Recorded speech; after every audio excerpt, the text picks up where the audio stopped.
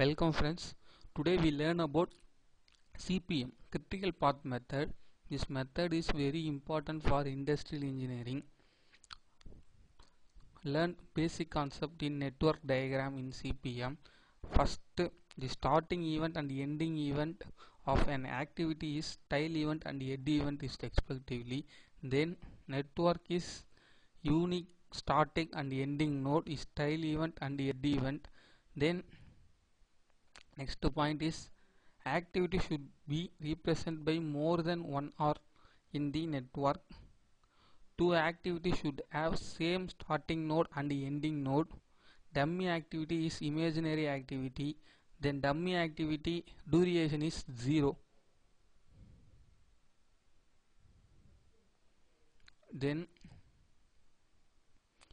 this is activity on node activity on arrow the symbol is node and arrow. Let's see one problem in previous year gate question. Clear the concept. This question is gate 2012 activity precedence duration. First this is start a. His duration is 3 then a is complete then b is start 4 then a complete d is 4 then a is complete then c is 5 3 precedence is over then b is complete then e is start 2 so e is 2 but e and c complete means g is start. So this e is directly connecting c. Then b is complete and e. Then d complete means start f.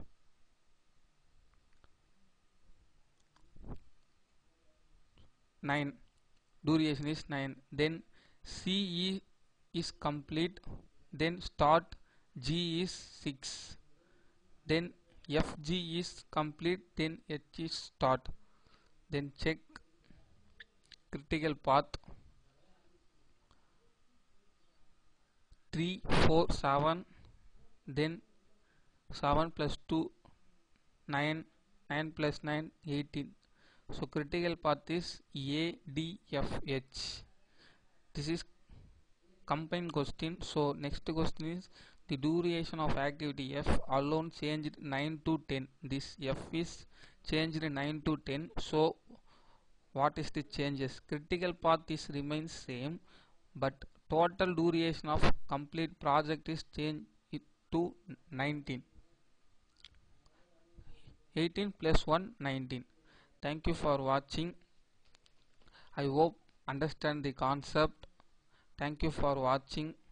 Subscribe my channel also like my video. Up to see again my next video. Thank you friends